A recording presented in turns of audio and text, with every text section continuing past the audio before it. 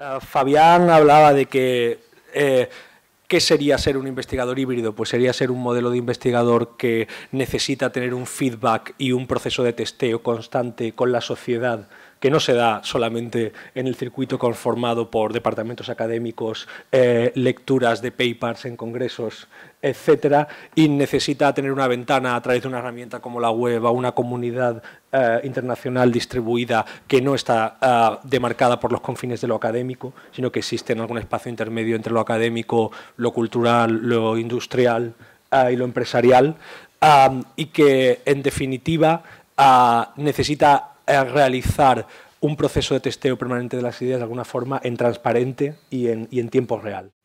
Nada, para mí lo importante no es que existan estos agentes, sino que creo que estos agentes comparten un conjunto de valores comunes y que al menos esos valores empiezan a dibujar y si dibujan eh, unos patrones diferenciadores que marcan de otra manera distinta eh, cómo se operan frente a otros agentes artísticos y creativos tradicionales. Uno de ellos es una creencia absoluta en que los procesos tienen que tener lugar en transparente, es decir, habilitando maneras por las cuales se hace un permanente status update del estado de la investigación y que los procesos están también en permanente beta. También una fortísima metodología interdisciplinar. Entender que lo que tienen que hacer los agentes culturales tiene muy poco interés si lo hacen entre ellos solos eh, y tiene mucho más interés si se insertan en eh, estructuras de trabajo eh, con agentes de cualquier campo posible del conocimiento en función de las especificidades de la línea de investigación. Ah, estructuras para articular estos procesos de manera dinámica y efectiva en red. Es decir, algo que decía hace poco Marcos García de Media Lab Prado me gustó mucho, como era explicar de qué estamos hablando. Estamos pasando de la ética punk del do it yourself a otra ética que es el do it with others. Eh, definitivamente creo que hay un eh, interés muy fuerte en este hazlo con otros, en, este, en estos acercamientos. También un desinterés enorme por diferenciar entre lo que es producción cultural o artística y lo que es proyecto de construcción empresarial, con una posibilidad de coexistir en estos distintos planos, no solo sin complejos ni culpabilidades, sino sin un excesivo interés, como digo, de diferenciar entre unos y otros. Ah, y también una adopción, una asunción de nuevos valores que se muestran, por ejemplo, como en su firme creencia en que hace falta desarrollar nuevos modelos de propiedad intelectual que rigen cómo generamos todo esto y cómo creamos. In this context, I thought I would like to talk about navigation maps and maps of territories because they are always cultural constructs of their times. Ten years ago, I felt that all the interactive artworks and interactivity and interfaces are for me a, a, a, cultural process like history is a process and therefore a very interesting research topic. Um, 10 years ago, we saw that many of the media artworks from the beginning 90s were gone, and that many women worked in this field and they were gone, and that we thought, and art historians were not very interested or helpful at that time. So we, we thought we would like to have a platform on the internet, and at that time there was no YouTube, no wikis, no Wikipedia. It was just before that started. And we thought we want to create a platform which is also a kind of teaching platform, a virtual uh, university or something like that.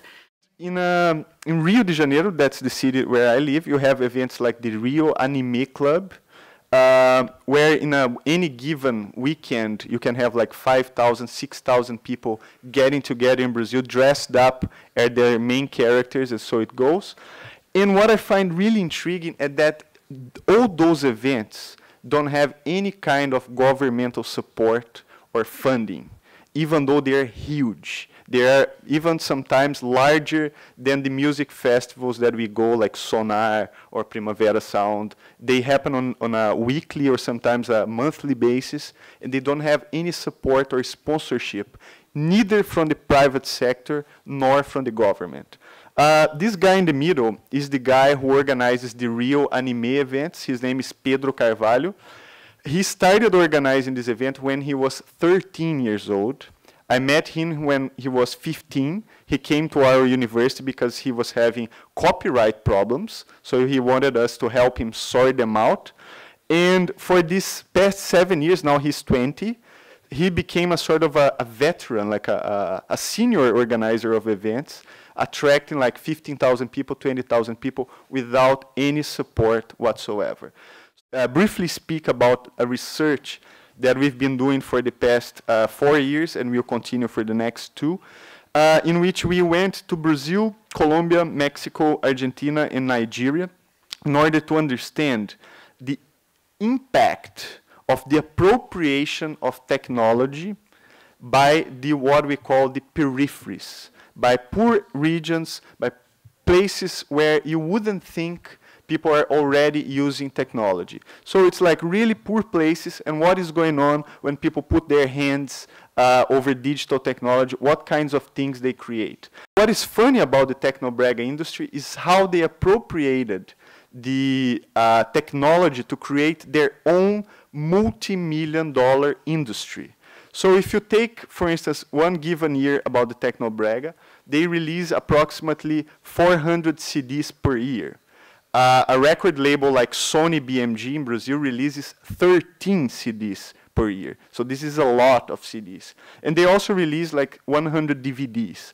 But the funny thing is, if you go to a store trying to buy one of these CDs, you won't find them because they are sold directly through those street vendors the guys who sell the pirate stuff that you see in the streets. So they kind of skipped the intermediaries and deliberately given their CDs to be sold by these guys who, are, who generally sell uh, pirated materials.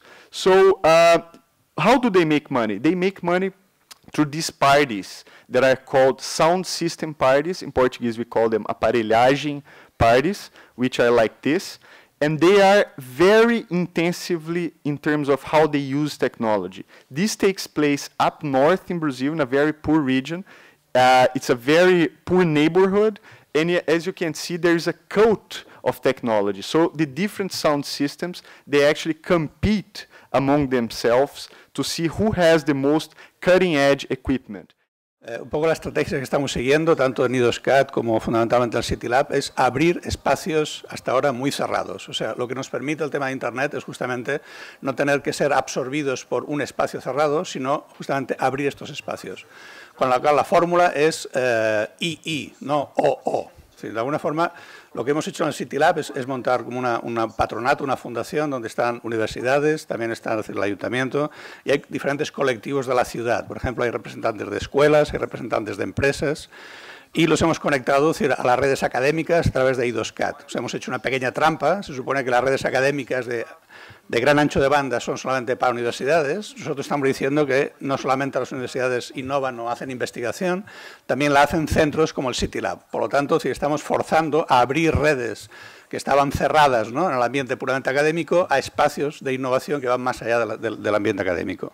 Entonces, este espacio eh, es ahora un espacio un nuevo tipo de espacio, es decir, un nuevo tipo de espacio cultural, social, etcétera, donde parece que finalmente los ayuntamientos empiezan a querer jugar. A lo mejor la crisis está ayudando a esto.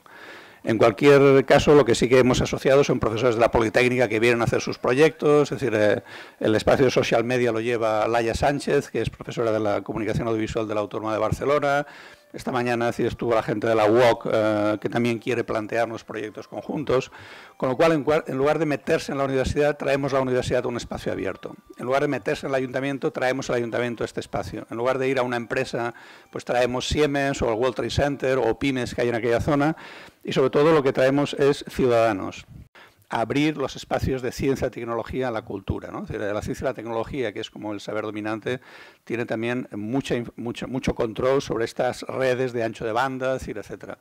Eh, el mundo de la cultura, que es como la parienta pobre, ahora resulta que empieza a aparecer como la parienta rica e importante.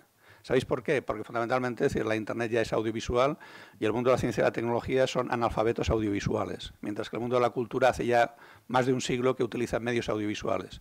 Como estos medios tienen la suerte de utilizar mucho ancho de banda, resulta que las redes académicas ya no encuentran contenidos suficientes para seguir avanzando en su investigación. O sea, ahora tenemos redes que tienen enlaces eh, ópticos de 10 gigas y no hay contenido científico tecnológico que, llene 10 gigas. O sea, cualquier transmisión de alta definición sin comprimir son 1,5 gigas. Podemos hacer muchas transmisiones simultáneas en alta definición, videoconferencias en alta definición. Con lo cual, este pariente pobre eh, emerge cada vez más como realmente el, el, socio necesario en la propia evolución de la ciencia y la tecnología. Uh, there are four fundamental rights uh, that uh, free software developers claim for the users and for themselves, because we are both users and developers. We live in the architectures that we build. And these are the four rights. The right to run the architecture, the software for any purpose, the right to study and adapt it, to redistribute it, and to distribute modifications. These are four fundamental rights that people uh, from the free software movement, from the GNU project claim. The GNU project was started in 84 by Richard Stallman with the contribution of uh, professors of law like Eben Moglen and many other uh, thinkers that are uh, extremely influential today in defining the basis for this uh, movement that we are witnessing. you.